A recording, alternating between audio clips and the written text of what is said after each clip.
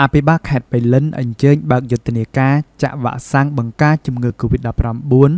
ជូនកុមារអាយុ5ឆ្នាំ នៅមន្ទីរពេទ្យបង្អែកខេត្តបៃលិននាព្រឹកថ្ងៃទី1ខែវិច្ឆិកាឆ្នាំ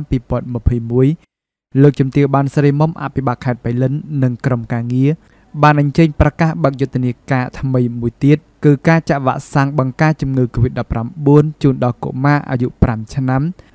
ដែលត្រូវបានគេចាត់ទុកថាជាយុទ្ធនាការប្រកបដោយការទទួលខុសត្រូវខ្ពស់ក្នុងការការពារអាយុជីវិតកុមារពីជំងឺកាចសាហាវ COVID-19 និងការបើកដំណើរការបង្រៀននិងរៀនឡើងវិញសម្រាប់សិស្សមត្តេយ្យសិក្សា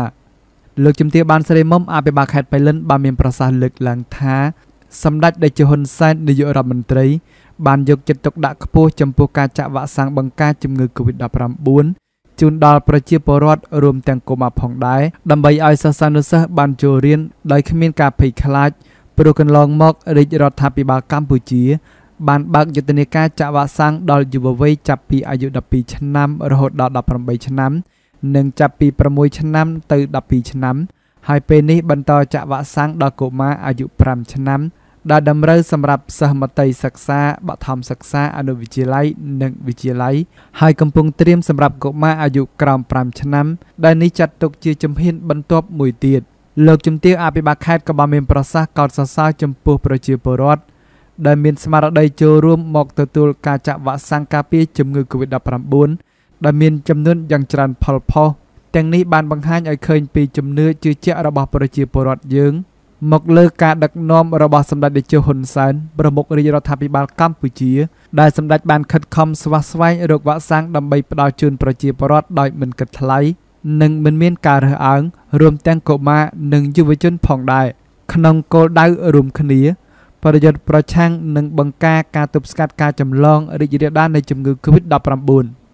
នៅក្នុងឱកាសនោះផងដែរលោកជំទាវបានស្រីមុំក៏បានមានប្រសាសន៍ក្រើនរំលឹកដល់បងប្អូនប្រជាពលរដ្ឋគ្រប់គ្នាបើទោះបីបានចាក់វ៉ាក់សាំងការពាររួចរាល់ហើយក្តីក៏កុំភ្លេចខ្លួនកុំមានការធ្វេសប្រហែសហើយត្រូវបន្តចូលរួមអនុវត្តឲ្យបានខ្ជាប់ខ្ជួននៅវិធានការរបស់ក្រសួងសុខាភិបាល និងវិធានការការពារ3ការពារ3កុំរបស់សម្ដេចតេជោហ៊ុនសែនដើម្បីកាត់ផ្តាច់ការឆ្លងរីករាលដាលនៃជំងឺ Covid-19 នៅក្នុងសហគមន៍យើង។ សូមបញ្ជាក់ថា យុទ្ធនាការចាក់វ៉ាក់សាំងបង្ការជំងឺ Covid-19 ដល់កុមារអាយុ5ឆ្នាំនេះ គឺចាប់ផ្ដើមពីថ្ងៃទី1ខែវិច្ឆិកា ឆ្នាំ2021តទៅ ដោយពេលព្រឹកចាប់ពីម៉ោង8:00នាទីព្រឹក ដល់ម៉ោង11:00នាទី ហើយពេលរសៀលចាប់ពីម៉ោង2:00នាទីរសៀលដល់ម៉ោង5:00នាទីល្ងាចនៅគោលដៅចំនួន3 1មន្ទីរពេទ្យបង្អែកខេត្តបៃលិន2 មណ្ឌលសុខភាពផ្សារព្រំ និង3មណ្ឌលសុខភាពភ្នំស្ពង់។